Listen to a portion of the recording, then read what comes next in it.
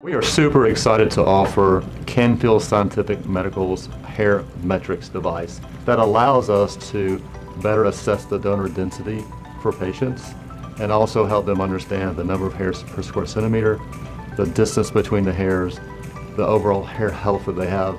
And so we can come up with a better plan to help them reach their hair restoration goals. We use it to help determine a patient's candidacy for surgery. So if they have sparse hair or the hairs are not as close together in the back or sides, it helps us adjust the patient expectations and the overall surgical plan. It also allows us for medical treatment patients to understand the overall health and quality of the hair in their areas that they are experiencing thinning uh, and help design a plan that better suits their needs. So it's an, amazing artificial intelligence driven system, uh, again designed by Canfield Medical Scientific Imaging Systems, one of the few centers in the United States that has it. It is a research tool, but we employ it differently to help our patients get the best results that they can get.